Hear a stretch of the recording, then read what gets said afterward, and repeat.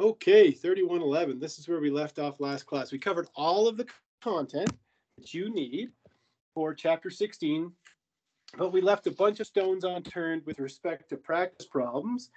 And the first one we wanted to look at uh, this afternoon is 16.13. And if you notice that the diene in every single one of these is identical, right? The diene for every problem is just 1 3 butadiene. And you see that they put the 1 3 butadiene in the S cis conformation. Remember, that it can be in an S cis or an S trans conformation, but it's only the S cis conformation that can react. So really, you know, in my opinion, what this question boils down to is practicing drawing your curved arrows and then knowing the rules for stereoselectivity and regioselectivity. So if we just go back here, remember when it comes to stereoselectivity, that Diels-Alder reactions aren't stereoselective, they're stereospecific. So if we start with a trans dienophile, we're going to get a trans substitution in our ring. And if we start with a cis dienophile, we're going to end up with a cis substitution on our ring. And so if we go to the first problem, you can see that we have a trans dienophile, right? We, you see that we have a proton that's going straight down here, and we have another one that's going straight up like this. So this compound is a trans compound. Now, if you're looking at this and you were trying this at home and you said, well, I don't like drawing the curved arrows like this. I don't care for this. What I want to do is I want to redraw the molecules to position that dienophile, you know, more the way that I would like it. And there's nothing wrong with that. So if I just move this over a little bit, if I draw the carbonyl like this and draw this carbonyl like that. So if you have to position it like this, there's no problem with that whatsoever. And I've taught this class for a long time, and I know that some students find this handy. So if we orient the two molecules like this, and then we draw our curved arrows, it doesn't matter if we draw them in a clockwise or a counterclockwise fashion. Now we're going to draw our product. You can see that we formed one ring. It's a six-membered ring. It's a cyclohexene ring, right? Because it's got one double bond. This compound is cyclohexane. When we put a double bond in it, it becomes cyclohexene. So we have cyclohexene. And since we have a trans alkene, what we're going to end up with is trans substitution for our two acyl groups or, or our acetyl groups is technically what they are. So we're going to have this compound, but keep in mind that that dienophile, um, it also could have oriented itself like this, okay? So it could have oriented itself like this. And if it did, if we had drawn the curved arrows like that, we would have ended up with this compound where we have um, the, the dash up here and the wedge down here like this. And what are these two compounds? These two compounds are enantiomers of each other, okay? So you don't have to necessarily draw both of the enantiomers. It's totally fine if you don't. What you can just do is delete this and say, well, I'm going to get this compound plus I'm also going, going to um, get its enantiomer. All right, so that's question C.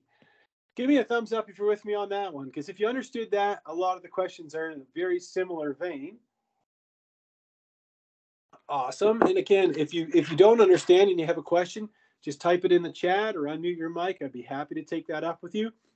The next one we don't have any cis or trans to worry about when we have an alkyne.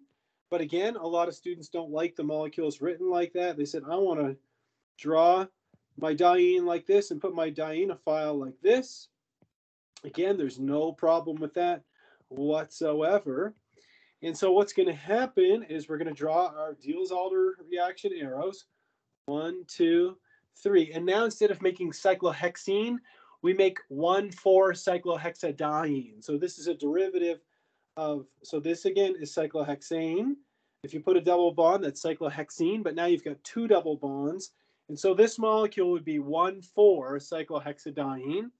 And we're going to have our acetyl group coming off of here and an acetyl group coming off of here.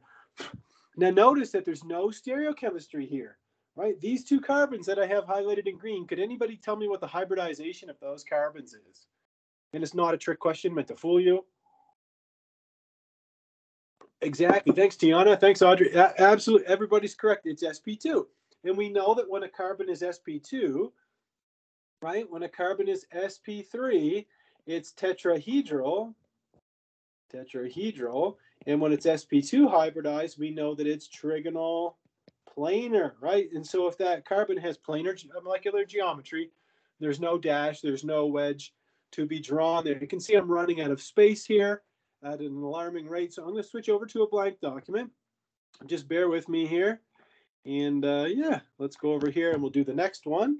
So this is just moving right along. This is question 16.13 and question um, E that we're working on now. So we draw our 1,3-butadiene, and this time our dienophile is this molecule called maleic anhydride. The name isn't important. and yeah, but this is called maleic anhydride. Um, anyhow, so we're going to draw our arrows. Let's draw them in the reverse direction this time just to make life interesting. So there's our three curved arrows for our Diels-Alder reaction. And this time we're going to have one double bond in our ring. So it's a cyclohexene derivative. And yes, stereochemistry is going to be important. And I'm going to draw both of these bonds since, um, you know, since this compound is locked in a cis conformation, I'll draw both of these bonds going down. If you drew both of them as wedges, that's totally fine too. We draw our oxygen in the ring here, and we put this there. Could anybody tell me, am I going to have an, an, an enantiomer to this compound? And it's, again, not a trick question. Would this compound have an, an enantiomer? Yes or no? So this one, what do you guys remember about this compound? So this compound will not have an, an enantiomer. If I take the ruler out, my rich young ruler here, and if I draw a line, right, we have a plane of symmetry in this molecule. Do you remember what this is called when we have a plane of symmetry? Yes, thanks, Audrey. Yes, it's a meso compound. Yes. So be on the lookout for the for the meso compound. Yes, yes. So it's meso, so it doesn't have an enantiomer. All right, let's try the last one on this problem. So this is again 16.13 F. So we have our same old 1,3-butadiene that he's really hooked on. This time we have another alkyne. So another alkyne, and we're going to draw our curved arrows. Just getting some good practice in here. And let's see, we're going to have another derivative of 1,4-cyclohexadiene. Again, we have cyclohexane, cyclohexene, 1,4-cyclohexadiene. There's no stereocenters in this molecule to worry about. And so that's the only product that we have. I noticed that in my in my notes, not in your slides, but in my notes, I noticed that I put one more in. Well, we'll just do it for fun. So if you didn't, if you don't have this one scribbled down, we'll give it the old college try here. It's uh, this compound is called uh, so this would be um, two three cyc cyclohexenone is what you would call this. Anyhow, it's neither here nor there. But if you tried to draw the curved arrows for this guy, it's going to look like this, like that. So the carbonyl is not going to participate in the Diels-Alder. It's always going to be the double bond. Here, there's no regioselectivity to worry about, even though we discussed it last class, because the diene is symmetrical. And so you would end up with this. And of course, the alkene is locked in the cis position. I don't know what I'm doing there. There we go. There we go. And so we're going to have a bond going down here, bond going down here. Oops, that's not very pretty. One, two, three, four. There we go. That's a lot better. Like that. And we'll just put our carbonyl here. And then, of course, you would also get the enantiomer to this uh, compound as well. All right. Anybody feeling a little more confident after taking a look at those ones? Yeah, good, good. It really takes practice to get confidence in organic chemistry. If anybody, t- yeah, good. I like those ones too, Jalen. I think if anybody tells you it doesn't take practice to master content in organic chemistry, they're full of baloney. Pardon my language. All right, let's take a look at. We did this one. We did 16.16. Then we talked about the endo rule, right? So endo rule is that both of the groups, if you have a cis alkene, they're both going to be pointing down right? They're going to be syn to the larger bridge. I told you that my students just remember they're pointing down, and I gave you an explanation as to why we get the endo product. Even though it's more sterically hindered, it's still the major product. But we didn't try any of these um, questions here. The first one, we have the dienophile written in the correct orientation, don't we? And notice that when we do it, so look, listen to me very carefully, you guys. Okay, just if you get your pencil, put it down just for a sec. Like, think about it. Everything that we looked at so far today, the dienophile was one three butadiene. It was just a, a, a chain. Okay, there was no ring in it. Every single diene here is a ring. So if a Diels-Alder always makes a ring, that means we're going to have a ring and a ring. So that means we're going to be making bicyclic compounds in the first three. And in the third one, we get another. So we're going to make a tricyclic compound. So you will have to practice your, your drawing of bicyclic compounds. And so will I. So let's give it a shot here. This first one, we're starting it with cyclopentane diene, or cyclopentadiene. There's, it's a symmetrical molecule, so there's no regioselectivity to consider. And in fact, if you notice, every single one of these dienes is symmetrical, so there's no regioselectivity yet. That's that's the subject of the next question. So all we have to do is practice drawing our curved arrows and practice drawing the product. So let's take a look at the first one. We're going to make one sigma bond, break this pi bond, make another sigma bond, take this pi bond and move the electrons over so that we make a new pi bond. So look, we're going to have this one, two, three, four, five membered ring, that's intact. We're not messing that up in any way. But check this out. Now we're also going to have a one, two, three, four, five, six membered ring that we're making. So we've got a five membered ring and a six membered ring in our bicyclo uh, compound. So let's draw the five membered ring first. So one, two, three, four, five. So that's the five membered ring, right? Which has a bridge. Then I'm going to draw these two carbons over here. So this is my five membered ring. And if you're if you're sitting there at home going, well, hold on, Mr. Deon, isn't this a five membered ring too? You're right. It is. Absolutely. Okay. Right. But this is our six membered ring. All right. So that's the ring that we made from the Diels-Alder. And so our pi bond is going to be right here. Now notice that we have a carbonyl in our dienophile. So which way is the is the um, is the uh, aldehyde going to be pointing? It's going to be pointing down like this. So I'm just going to put CHO, which is the um, which is the uh, condensed form of an aldehyde. Now, of course, the aldehyde could have reacted in that orientation, or it could have reacted in this orientation. Okay, so that would give you the enantiomer right? So I end up with a pair of mirror images here because I have a stereo center, right? There's no arguing that this is a stereo center here. And so we get this compound plus we get its enantiomer. All right, let's try the next one, which is in the same vein. The only difference here is that we have a trans dienophile. And so we're going to have one group in the endo position, but one group in the exo position, won't we? All right, so this time I'm not going to twist the dienophile into a so that I have the pi bond vertical. Um, anyhow, I'm just going to go ahead and draw the curved arrows. So we have our sigma bond being formed. We have another sigma bond being formed, and we have a pi bond that's moving. Maybe I could improve that a little bit like this. Okay, so let's try and draw this guy. It's going to look like this. Here's my five-membered ring. It's going to have a sulfur in it on the top. So there's my sulfur atom. There's my pi bond. There's my first methoxy. There's my second methoxy group. Put a really big reaction arrow on it. There we go. All right. Then let's round up the six membered ring, which is going to look something like that. Okay. And I'm going to have one of the carboxyl groups pointing up. So I'll draw one going up like this. And I'll draw the other one going down like this. And then, of course, it's also going to have an enantiomer. All right, not the prettiest bicyclic compound, but I think it gets the, the point across. Everybody with me on that one? Any questions about that one? No? Okay, I have a question, a quick question for you. If you were to draw this compound out in its entirety, are there any pi bonds in here in the nitrile and it's not a trick? Are there any pi bonds in here? In the carbon nitrogen bond. In the nitrile. Yes, there's two pi bonds in there, right? Yes.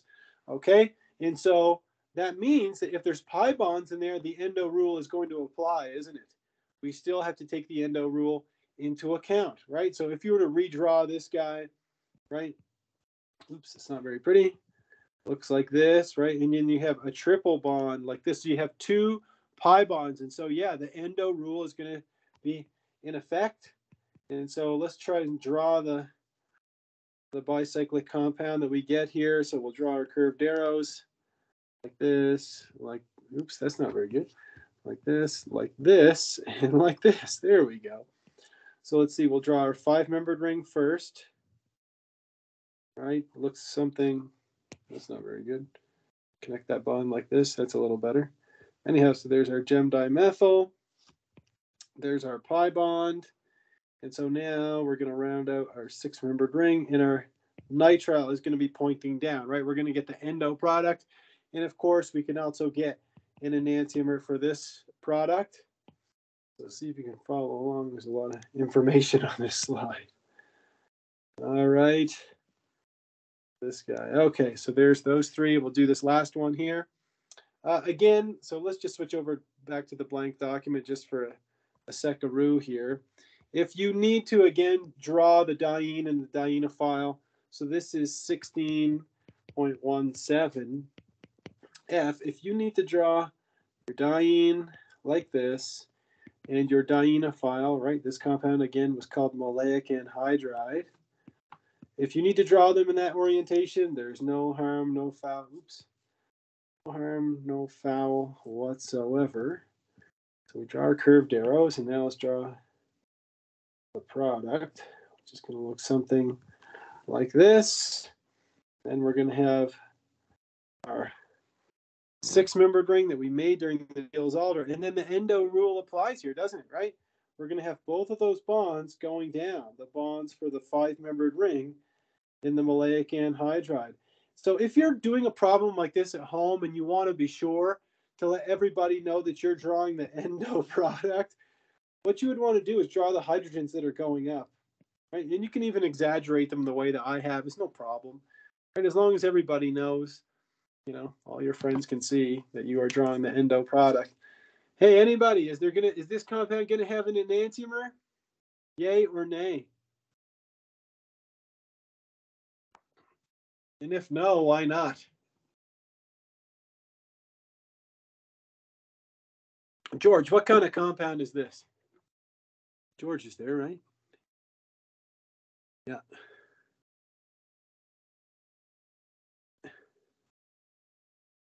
Heck yeah, it's a meso compound. Thanks. Yes. So as he said, it's it's a meso compound, right? So yes, they're not a meo. I don't know what that is. It's got uh, stereocenters, right? But there's a plane of symmetry through the molecule. It's kind of a interesting plane of symmetry, right? You can't you can't even really draw it in here. You'd have to kind of be standing over here, you know, looking at the molecule kind of that way or something to see the the plane of symmetry. All right. Everybody feeling better about drawing the bicyclic and tricyclics now? Because now we're gonna. I want to turn our attention to regioselectivity. Right? G- great, great. Okay, because now, um, I mean, really, and I know you guys are all really good at resonance. I know you're very, very good at that kind of stuff. But remember, when so so far we've covered stereo um, stereo specificity, right? Then we covered bi- bicyclics, and now we're getting into regioselectivity. And so you've got to be able to draw resonance forms here, right? If we have something like, you know, this kind of situation where you have an unsymmetrical diene and an unsymmetrical dienophile, you got to be pretty Johnny on the spot on your um, resonance structure drawing. So we're going to review all of these questions. Where was it? Question 16.7. I want to cover every single one of these. And I actually want to switch over to a blank document to do this whole dang thing because these are important problems. So just bear with me and we'll go over. So this is question 16 point what? 16.18. So 16.18. And this is question, well, I guess the first one. Anyhow, so we've got a methoxy group here on this diene. Thinking, yes, I am diene. This class makes me feel like I'm dying. All right, anyhow, so let's see here. Uh, what we need to do is we need to figure out on both of these structures where is the delta plus and where is the delta minus, right? Because those things are going to align with each other because we know there's going to be an electrostatic attraction.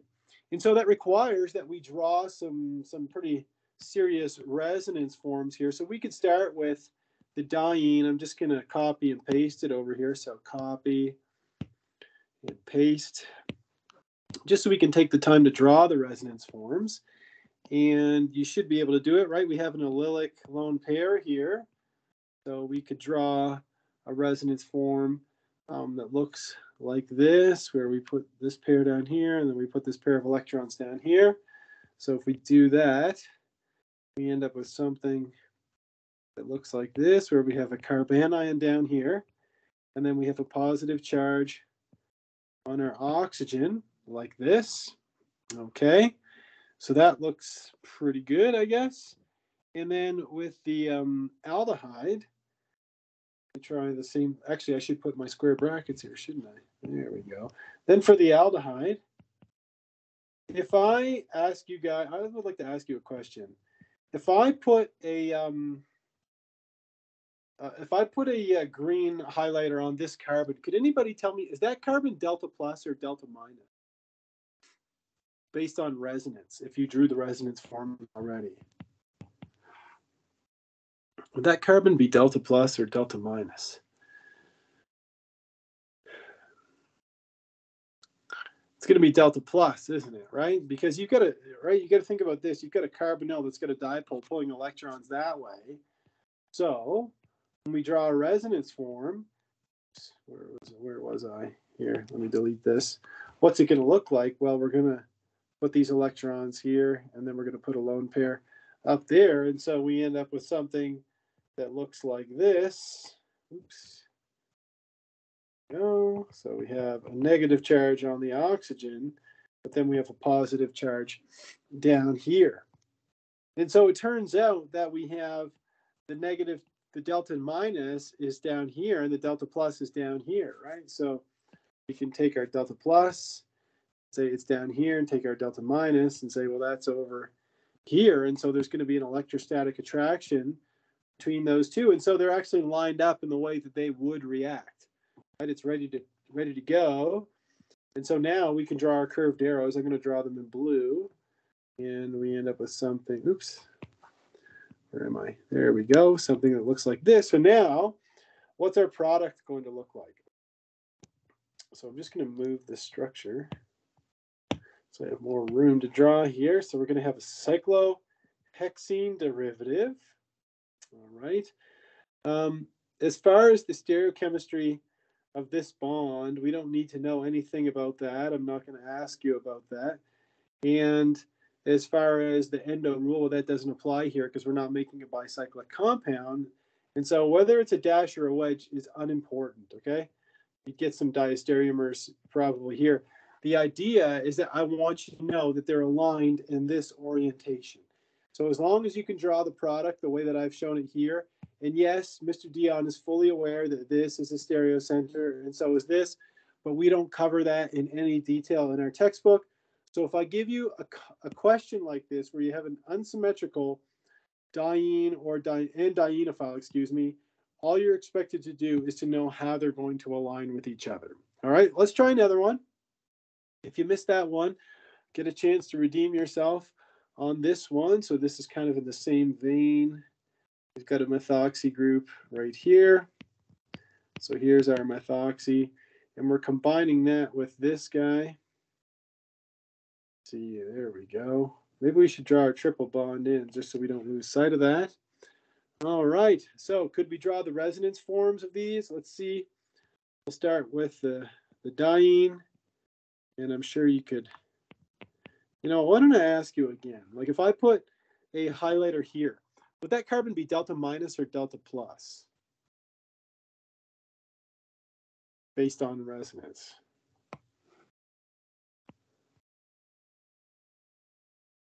So that one's going to be delta minus, right? We can't, there's no way to draw a delta plus on that, right? That would be impossible.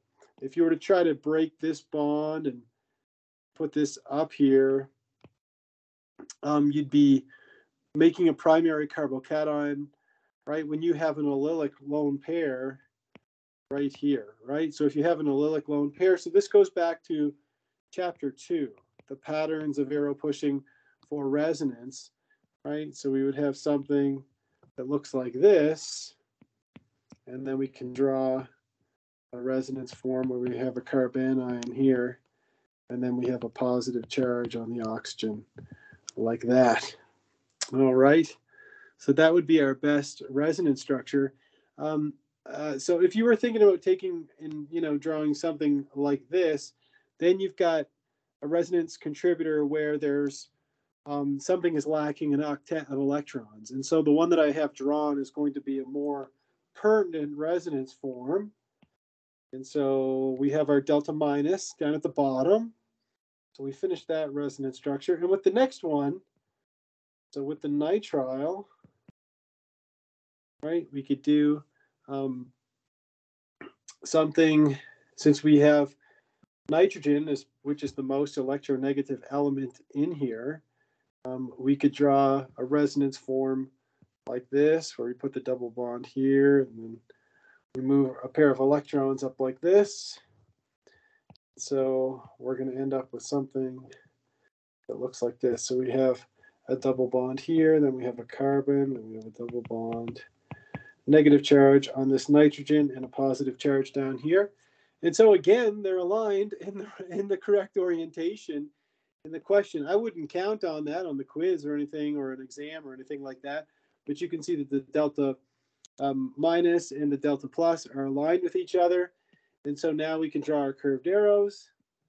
So again, don't worry about the stereochemistry on these ones because you end up with well, in this case, you only end up with one chiral center.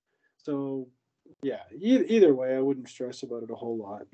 So we end up with something that looks like this, where we have our methoxy group here, and then we have our nitrile up here like this.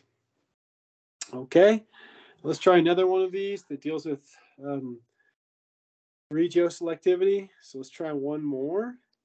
And this is the last one I had on that slide for 16 16.18. So we're starting it with our diene. It looks like this. And we've got an ethoxy group here. And then we have an acetylene derivative. It's an ester. I'm just going to draw the whole thing out like this. So I'm drawing the entire structure. And then we want to know, is it going to react in this orientation or a different orientation? So let's start by looking at the resonance form of our diene. And we just did something almost exactly like this a few seconds ago. So we have a lone pair here, and therefore we can donate a pair of electrons like this. So we're going to end up with a resonance form that looks like this, where we have our oxygen, positive charge, and a negative charge here. All right. And then if we draw a resonance form of the other one, of the ester, right, we know that an ester is an electron withdrawing group. So it's going to pull electrons away like this. And so we're going to end up with a, with a what we call a ketene derivative, I guess, or a ketene like. So we have double bond, carbon, double bond, and we have a negative charge on our oxygen like this. And then, of course, we have our positive charge down here. And so you can see that they are reversed from each other. So we need to turn this guy around. So I'm actually going to redraw the compound. Just bear with me. I'm going to erase this here. And I'm going to move the ester down here. Oops. There we go. So let me move that up. Move it on up. There we go. And there we go. All right, so now we can draw our curved arrows. So we draw one here, draw one here, and notice that our diene is a, um, a cyclic compound, so we're going to end up with a bicyclic product. So we're going to have our five-membered ring. Draw our five-membered ring. We have a double bond down here. We have our ethoxy group like this. Then we draw the two carbons to make our six membered ring. Of course, we only broke one of the pi bonds, so we still have a, double bond there. I'm gonna have to move this resonance form out of the way just so I can get the ester group in here. And so remember this carbon is sp2 hybridized, so the molecular geometry is trigonal planar. And so we're gonna put our carbonyl here. And there you have it, my friends. That's it for regioselectivity. So we've covered that one. Is my screen frozen? If it is, I'll hold on, I'll hang up. Just give me a sec. Uh, let's try this. Give me two shakes we'll into. Try that.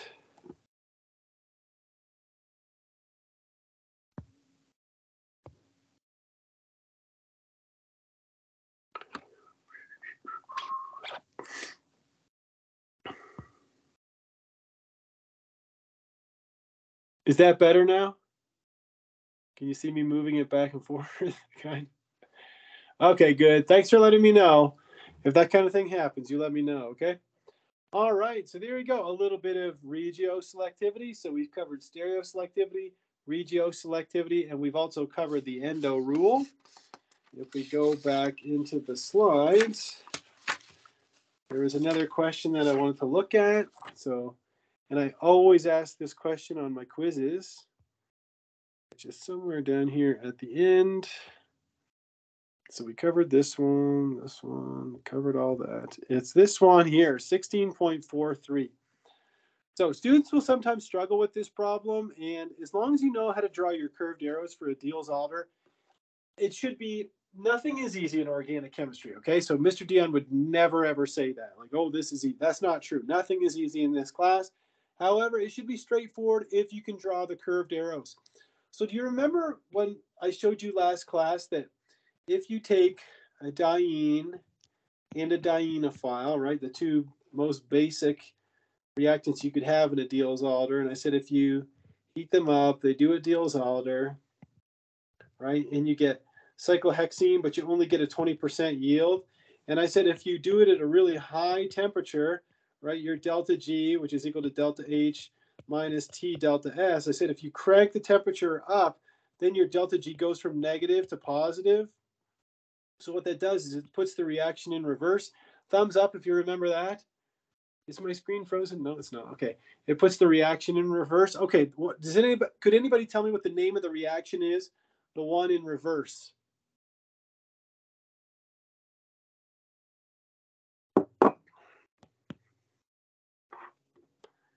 What was that reaction called?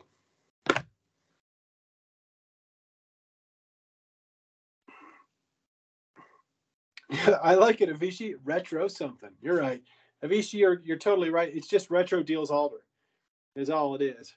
Right? Avicii, and that doesn't mean that it's like wearing bell bottoms or something that is that retro or it's not into neon hats or something. It just means the reaction's going in reverse. That's all it is. So remember that to draw the arrows, going from the product to the starting material, the diene and the dienophile, it's the exact same arrows, and you can draw them in reverse, or you know you can draw them clockwise or counterclockwise. It doesn't matter. Look, if I take this, I make a pi bond here. I break this one. I make a pi bond there, and I make a pi bond here. Where does that take me? Delete this. It takes me right back from whence I came. Okay, so it's the exact same curved arrows. I'm going to delete this stuff here, the retro Diels-Alder, or also known as retro something. All right, I like it. So there we go. So what are we going to do with this guy? We got a double bond here. Where's my pen? Okay. So look, we're going to make a pi bond here. We're going to break this sigma bond, make a new pi bond here. Maybe I could make a better arrow. Wink. There we go. And then we're going to break another sigma bond. So look, we broke two sigma bonds. So we're taking the cyclic compound and we're making two compounds that are acyclic. So what do we end up with? Let's look very carefully. So I'm going to end up with, if I count these carbons, one, two, three, four. I'm going to draw them like this. One, two, three, four. Even number them. One, two, three, four. you can see that I made a pi bond between carbons one and two and three and four. They still have a methyl group on them. I didn't even touch that. And if this, these two groups are cis to each other, right? These two carboxyl groups are cis. That means that our dienophile is going to be a cis dienophile. So we draw our double bond and we have our carboxyl group here and our carboxyl group here. And that is it, my friends. That's the whole thing. Those are the reactants, nothing more than that. And if you're like, well, that's okay, but the next one's horrible, you know, look, now I've got a bicyclic structure. What do I do then? It's the exact same thing, okay? Don't focus on the ring that bends out of the plane like this. Focus on the ring that has all the substituents on it, right? So the one that's got the double bond and all the substituents. Do the reverse arrows. Watch very carefully. We take that pi bond, we make a new pi bond. We break this sigma bond, we make a pi bond. And we break this sigma bond and we make a pi bond. So now what I'm going to do is I'm going to draw the ring, the diene. And if I number my carbons, look, one, two, three, four, five, six. What's it going to look like? It's going to look like this. I'm going to have one, two, three, four, five, six. Okay, I'll just number them like this one, two, three, five, six. And you see that in between carbons one and six and four and five, I formed a double bond. So it's one, three cyclohexa, cyclohexane diene that I end up with. And then what's my dienophile going to look like in this case? Okay, I've got this. Ah, I've got this. Is there any cis and trans to worry about in my dienophile? And remember, I would never try to fool you. It's just a question. Is there any cis and trans to even consider in my dienophile? Yay or nay? Thanks, George. Absolutely. Nothing to consider, right? Why? As, as Tiana says, all our groups are the same. Exactly. And you have one, two, three, four of them. You've got all of these nitrile groups attached so you can imagine that if a nitrile group is electron withdrawing, which it is, right? You've got a dipole going this way, a dipole going that way. Do you remember last class I said the more electron withdrawing groups you have on the dienophile, the better, the more reactive it is. So you can imagine this thing is reactive like like um, um, crazy, is crazy reactive. All right, let's try the next one. So again, focus on the ring that has the substituents and the double bond. So that's this ring here. We're going to draw our retro Diels-Alder arrows. So we have one here, one here. And then if you drew yours inside the ring, that's totally fine. I don't like doing that because I always make it look funny. I draw it outside because it gives me a little more room. Okay, so let's draw the six-membered ring, or sorry, the um, the five-membered ring, which is going to be this one, two, three, four, five, like that. Can I draw pentagon? Um, no. One, two, three, four, five. That's pretty good. All right. Anyhow, so we end up with cyclopentane diene. That's not very pretty. It's a mix of straight lines and crooked lines. There we go. So there's our diene all right, that we drew. Right, if you count the carbons, one, two, um, three, four, five, right, it would go like this, one, two, three, four, five. And then our dienophile, do we have cis and trans to consider in our dienophile? Could anybody help me out with that? Absolutely, yes. Thanks, everybody. That's fantastic. Yeah. Is it cis or is it trans?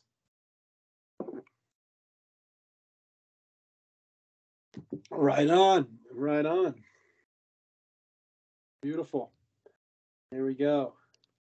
So I end up with an aldehyde here, and here an aldehyde, there an aldehyde, everywhere an aldehyde. Good. Okay, so I've got those done. Let's try the last one. I'll just kind of move some of this junk out of the way. Clean house a little bit. Right? So really, what's our strategy for this question? Identify the reagents. So really, you could just say, draw curved arrows for retro Diels-Alder is all you got to do. Draw the arrows for the retro Diels-Alder and you are good to go. All right, this one looks a little spicy. Let's see here. Focus on the ring that has the double bond and the substituent. So that's our ring. We're going to draw our retro arrows. We're going to form a pi bond here, break this bond, break this bond. There you go. So what's our diene going to look like? It's going to be a five-membered ring. It has an oxygen in it. So there's our diene. And then our dienophile. Could anybody name our dienophile? Even if you're close. Could anybody name it?